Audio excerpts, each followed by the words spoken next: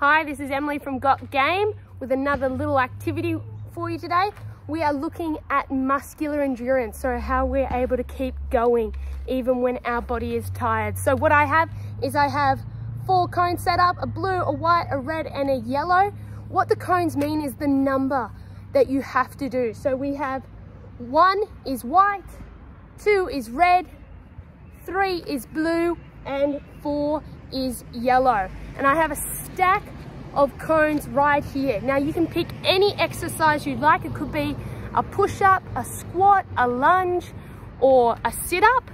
And what you have to do is you're gonna try and get through all of these cones. Now, whatever cone you pick up is the one you have to go to. So there's a little bit of reaction time and it actually tells you the number that you have to do. So you need to make sure you remember the numbers or the value of the cones. If you don't have any cones. You can use any kind of marker to set up these four and you can always just have different colored pens or pencils to tell you which number you're gonna do. We're gonna time ourselves to see how long it takes us to do it. So here we go. I'm going to do squats for my exercise. You gotta start in the middle and then you gotta only pick up one cone at a time. Here we go. Time starts now. So I've got yellow, gotta go four,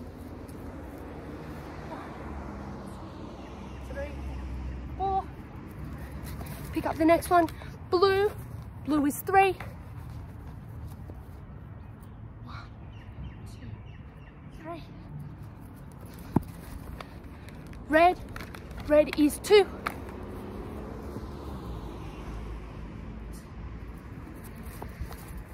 Yellow. Four.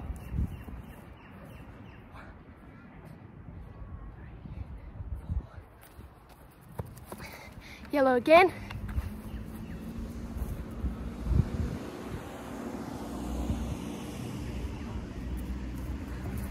Red, two. Ooh, legs are starting to burn. White, one. Last cone, blue.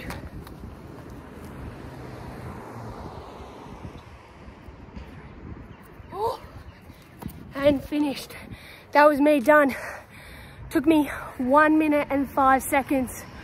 Woo, that was tough could feel the burn. Have a go yourself, have fun.